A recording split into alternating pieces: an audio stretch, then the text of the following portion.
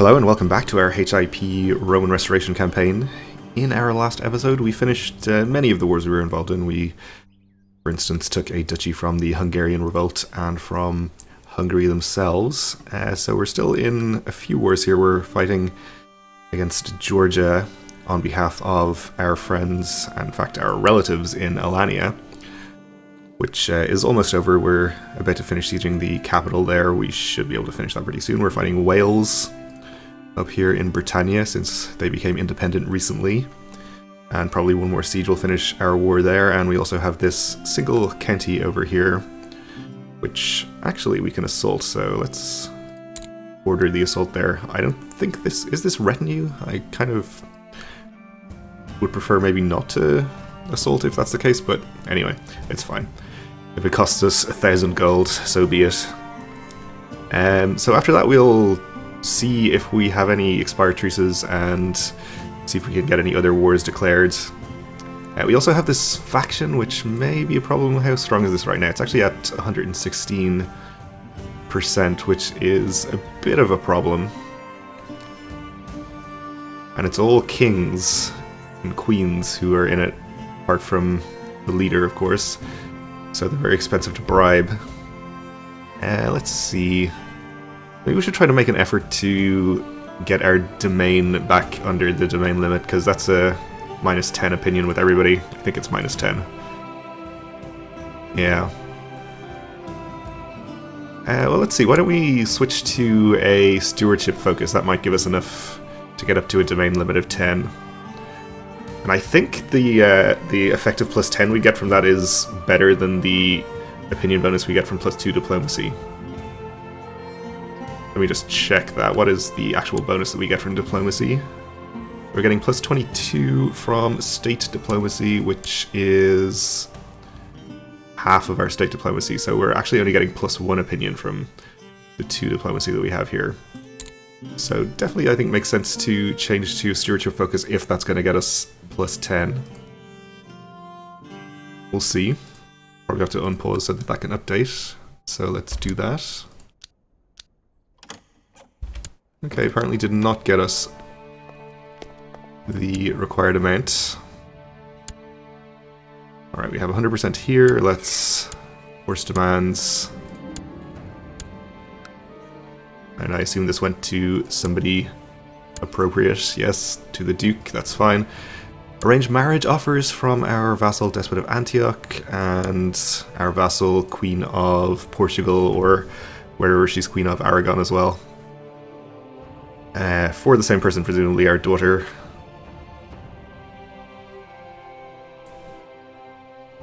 So this is the heir to Antioch. I think we'll choose him. Seems fine.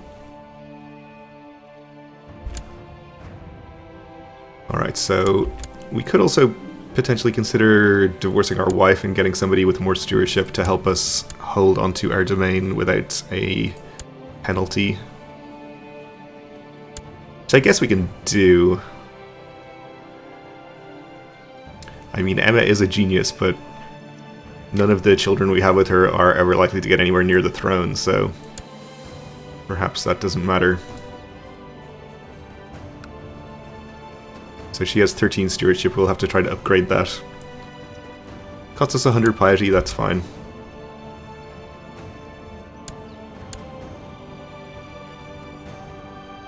Wait for a reply from the Patriarch. Do we even have to wait for a reply? Apparently we do. There we go. This is urgent, come on. So we'll get somebody with 24 stewardship perhaps? Sounds good. Uh, let's actually just marry another genius. Who knows, the genius children could be useful to us. So we've gone down to 8 temporarily, which is even worse of course, but our marriage should go through any second now. Alright, um, the Grandmaster of the Knights Templar is a little bit happier. And he'll be happier still once we get married and get up to a domain size of 10. So he's up to 31. Let's check on the faction now.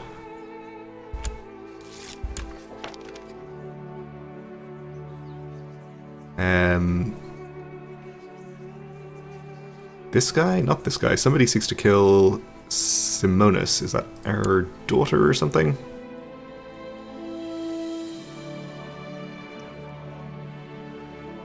It is. Eh, well, I guess that's probably not a big problem.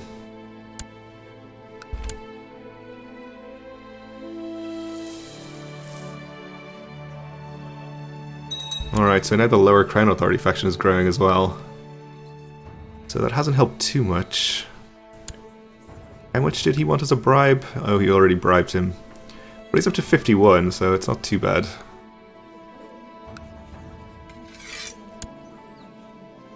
I'm hoping that if we get him out and sort of reset the faction, some of the other people won't rejoin. So we'll give him the title as well, and... It did not work that way. But we are down to 56%, so that's good. And if the Crown Authority faction stays where it is, I think we're okay for the moment as well. Oh, and there is another opinion improvement with the Grand Master. So let's move our Chancellor to somebody else here. Despot of Italy, I guess, is pretty powerful as well as being in... Is he in both factions? No, just the one. Talia Annonaria, is he in both? Is this you? It is, so I guess we'll work on him. With our Chancellor.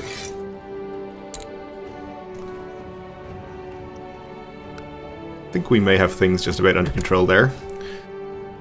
Let's unpause for a while and try to actually get these sieges done. Oh, we have an English revolt. Right, Crown Authority, okay. And we can pick an ambition.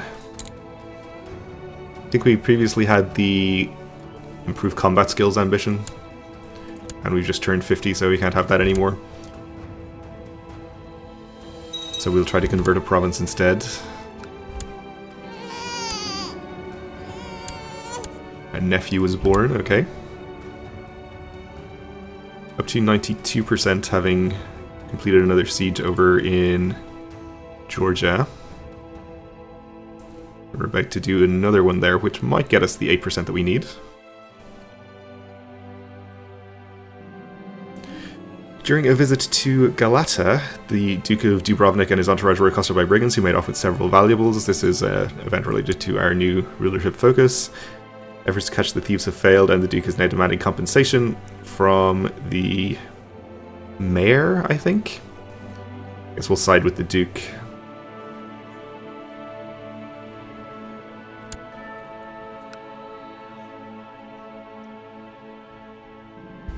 One of the eunuchs at the Imperial Court has distinguished himself and caught the attention of your advisors, though they are usually of the jealous kind and loath to admit redeeming qualities in others. Even they cannot deny the promise of this young man. Um, I don't know. I don't think we need more people in our courts. We'll just decline to bother with that. Up to 99% here. And we have not finished sieging the whole of the target county. So we won't be getting ticking war score. We'll have to pick up another 1% somewhere. Captain Ingemar of the Varangian Guard can be a commander, that's fine. So maybe what we'll do is try to fight a battle here. Probably the quickest way to win this. Fortunately, they have 7,500 over here, so we're going to need to send quite a few troops. Maybe this 11 strong army will be enough to count for 1% war score, we'll see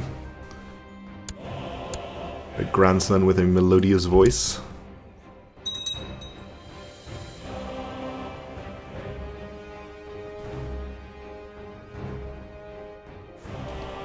Konya changing their laws.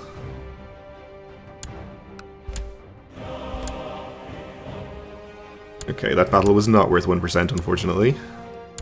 But we have finished a siege in Wales and gotten to 100% there. So we'll enforce our demands take the Duchy of Deheubarth.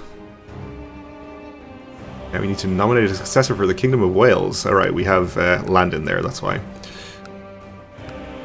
Well, I think we'll just go ahead and grant these to whoever the random algorithm recommends, if I can find the right place to click on here.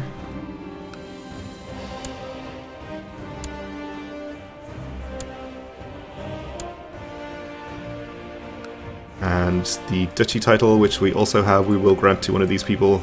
Probably doesn't matter too much, we'll just give him the best county. Or give it to the person with the best county, rather.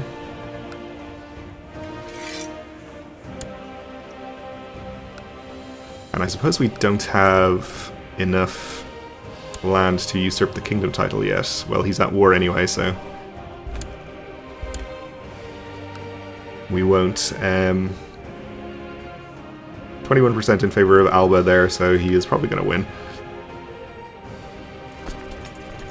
Not unexpectedly.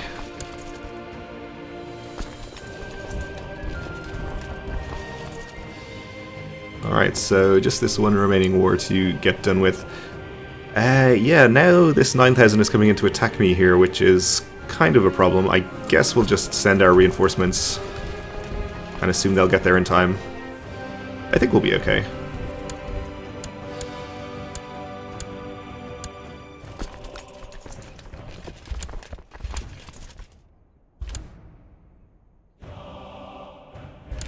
Be in on the 24th. Uh, we do have this batch of reinforcements going to arrive on the 28th, so that should be enough to hold them until the main army arrives.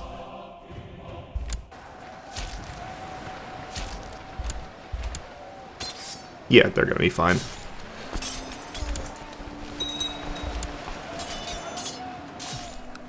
And this should definitely be worth more than 1%. Even in your sleep, in your dreams, you think about this war, it's all you ever think of. So we are going to pick up the trait stress, or we have a 20% chance of it at least. And we got unlucky.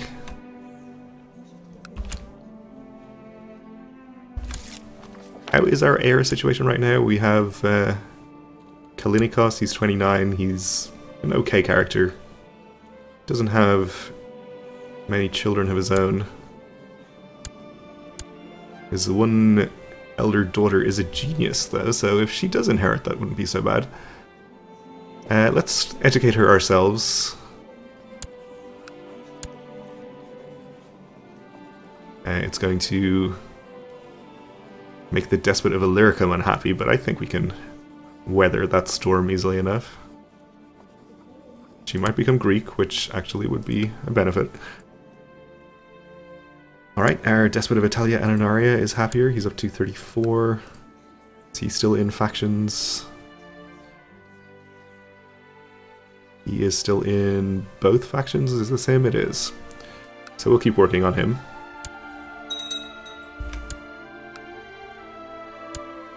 Okay, that battle did get us 100%. Oh, I guess this isn't our war, so we can't actually end it ourselves, but our allies should do so more or less immediately. Betrothed can marry, this is our daughter and the Prince of Hungary. You wouldn't accept a sneaky matrilineal marriage? No. Okay, that's fine. Um, this is the same marriage that we just put through. I'll just accept there, I suppose. Well, it's already happened, so don't worry about it. So we'll get our troops home here and disband them, and then we'll look at what other wars we have available to declare. I guess we could uh, potentially stay at peace for a while. I don't think that's really a good idea, though. We'll just avoid raising troops from our angrier despots.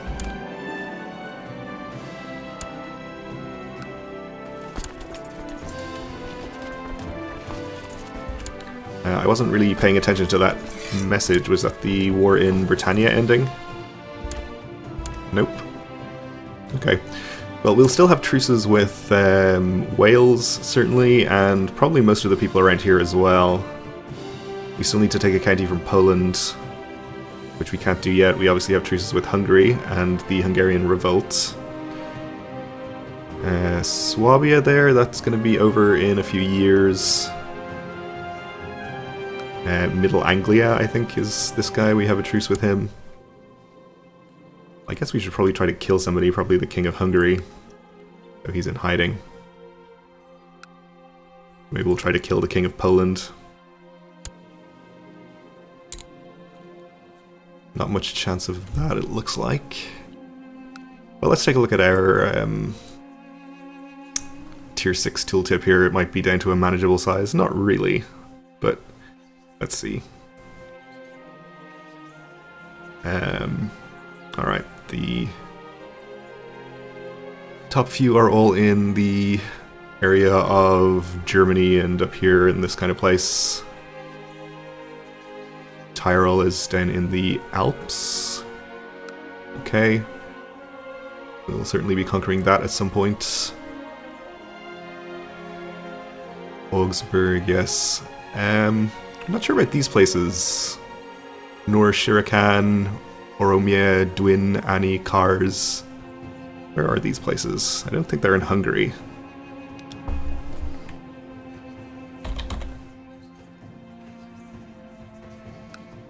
Ah, over here. So we need to conquer some stuff from Armenia. Okay. Well, that shouldn't be a problem. Um, this one's Sopron, etc. I think that's all in Hungary. Mosul as well is over, I think, in uh, Persia? Surely not that far east. Oh, this is in uh, in Armenia as well. That's okay. And further down, we're all in Britannia. Okay. Alright, well, it doesn't mention the more easterly lands here. It just says England, Wales, and Germany, but that's okay. We can certainly accommodate that. Unfortunately, it looks like probably most or all of the land we need to conquer is going to be under Armenia. Five separate reconquests there. Maybe these counties as well, though? Yes, okay. Anything under these guys? We do a holy war, but I don't think we need to bother with that. Does Georgia have anything? Nope. And I'm going to assume that the Seljuks over here don't have anything that we need either. Okay, so we're going to have to do a few wars with Armenia, it looks like. That's fine. And maybe if we take his capital... That might be the best for provoking instability over there. Which could give us revolts we can take advantage of. I think this might be the only thing we can declare right now. Do we still have a truce with Alba? Though the only county we need to conquer from them is already contested, so you might want to wait for that war to be over. We don't have a truce. I guess we could just declare this and see what happens.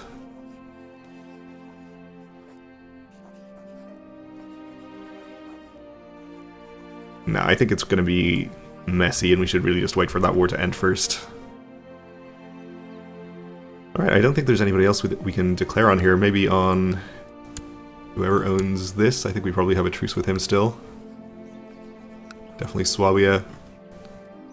Who are you? No CB there.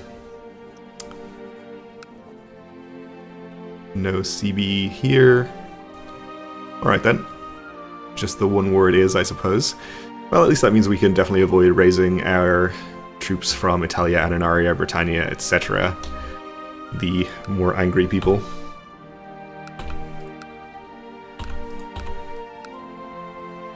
How many is this? 15,000?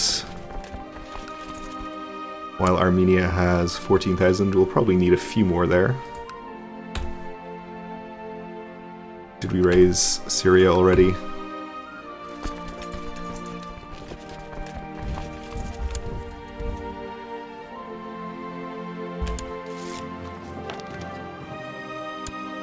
That's Italia Annonaria up to 65. Uh, let's call in our allies in Alania since they help or we helped them out. I think they owe us one.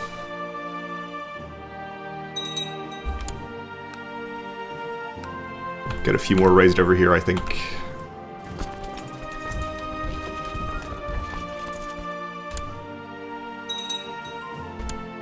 Oh, I never declared on these counties over here.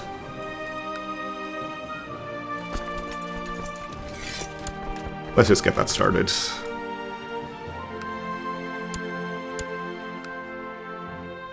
Uh, I guess we don't have a CB on him. Was he called in as an ally already or something? Yes, okay. So we were too slow on that, that's fine.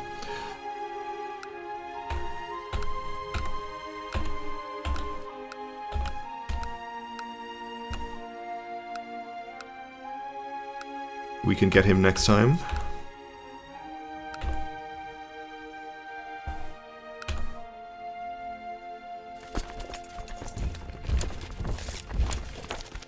And our kinsman answers our call.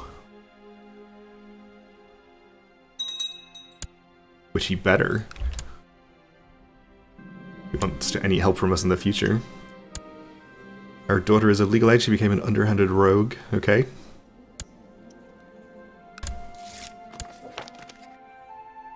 Want to intercede on behalf of one of our prisoners? Yeah, okay. We'll let him out. Or her out.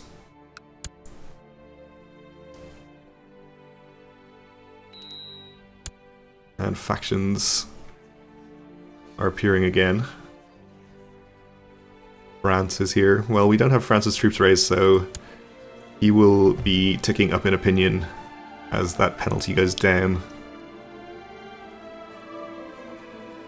Uh, we probably don't have an honorary title to give him, or at least not one that will increase his opinion.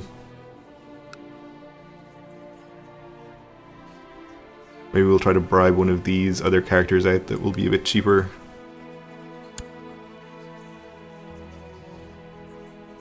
If Italia Annonaria is out, we could move our Chancellor.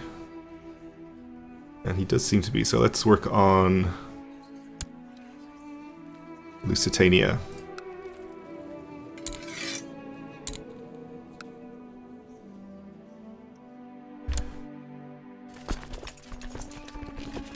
So 30,000 should be more than enough to take on Armenia's army. We have a new Despot of Burgundy. He's 12 years old, that's fine. Marriage between just a courtier and some other courtier in France, sure.